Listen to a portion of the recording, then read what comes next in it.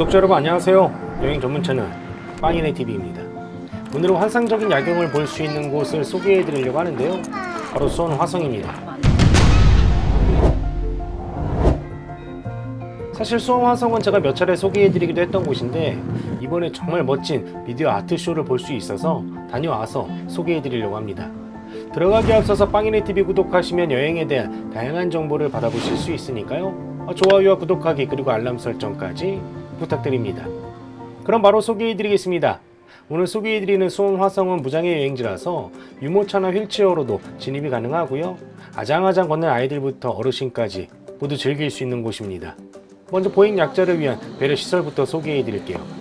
수원 화성은 주차장이 몇 군데 있긴 한데요. 저는 팔달구청 주차장에 주차를 하고 다녀왔었는데요. 아, 이곳에 장애인 주차구역이 잘 마련되어 있고 장애인 화장실도 잘 갖춰져 있습니다. 그리고 보행약자를 위한 경사도 설치도 잘 되어 있어서 휠체어 진입도 어렵지 않습니다. 사실 수원 화성은 수원 화성뿐만이 아니고요. 화성 행군과 행리단길 그리고 수원천까지 즐길 거리가 참 많은 곳입니다. 수원 화성 행군 건너편에 있는 행리단길은요. 카페나 맛집들이 모여 있는 곳이라서 데이트하기 참 좋은 곳인데요. 낮에 가면 벽화거리를 따라서 사진 찍기에도 좋습니다. 그리고 수원 화성을 둘러보시면 되는데요. 수원 화성도 성벽을 따라서 산책하기 정말 좋은 곳입니다. 지금 수원 화성은 healing falling 수원 화성이라고 해가지고 세계유산 축전 수원 화성, 수원 화성 문화제, 수원 화성 미디어 아트쇼, 정조대왕 능행차 공동 재현 등등의 행사가 열리고 있는데요. 그 중에서 저는 수원 화성 미디어 아트쇼하고 수원 화성 행궁 야간 개장에 대해서 소개해 드리려고 합니다. 수원 화성에 성벽 산책을 하셨으면 이제 화성 행궁을 둘러보시면 되는데요. 10월 말까지 화성 행궁 야간 개장을 해가지고 행리단길에서 저녁 식사하고 천천히 산책하시면 됩니다. 화성 행궁은 사적 제478호이기도 한데요. 정주의 원대한 꿈과 효심이 느껴지는 이곳은 전국에 조성한 행궁 가운데서 가장 돋보이는 규모와 격식을 갖춘 곳입니다. 행궁이라고 하는 것은 왕이 지방에 거동할 때 임시로 머물거나 지방에 별도의 궁궐을 마련해서 임시 거처하는 곳을 말하는데요. 그 용도에 따라서 크게 세 가지로 구분할 수 있습니다. 먼저 전쟁과 같은 비상시에 위급함을 피하고요. 국사를 계속하기 위해 마련된 행궁으로는 강화행궁, 의주행궁, 남한산성 행궁 등이 있고요. 휴양을 목적으로 설치된 행궁으로는 옹양행궁이 있습니다. 그리고 왕이 지방 등원에 참배할 때 머물던 행궁으로 화성행궁이 있고요. 화성행궁 야간 개장은 입장료가 있는데요. 성인 1,500원, 어린이 700원의 입장요금이 있고 야간 개장을 달빛 정담이라고 하는데요.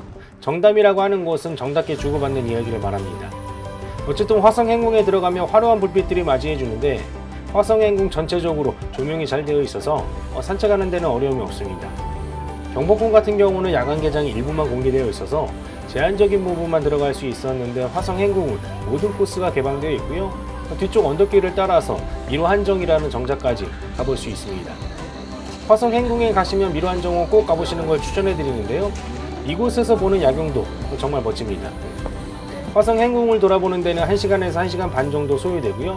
화성 행궁을 돌아보셨으면 이제 수원천에서 열리는 미디어 아트쇼를 구경하시면 됩니다. 이번에 열리고 있는 수원 화성 미디어 아트쇼 시즌2는 만천명월 정주의 꿈 빛이 되다라는 주제로 열리고 있는데 정조가 꿈꾸었던 개혁 신도시 수원 화성을 현대의 다채로운 빛으로 연출한 미디어 아트쇼입니다.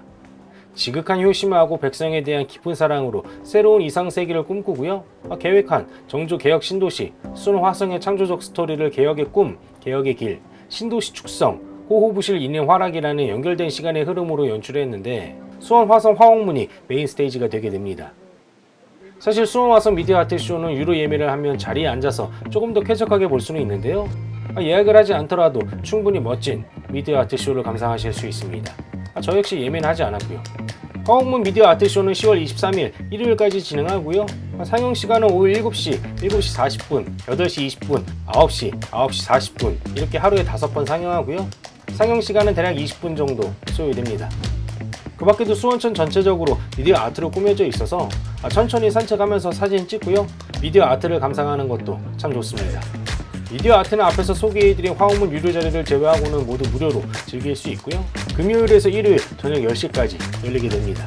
산책하기 좋은 가을 저녁에 멋진 풍경 보면서 힐링할 수 있고요. 아, 게다가 보행 약자를 포함해서 남녀노소 누구나 즐길 수 있는 여행지 수원 화성에 꼭 가보시기 바랍니다. 내용이 괜찮았으면 좋아요와 구독하기 그리고 알람 설정까지 부탁드립니다. 빵이네가 구독자님들의 즐거운 여행을 응원합니다. 빵이네 여행은 계속됩니다. 감사합니다.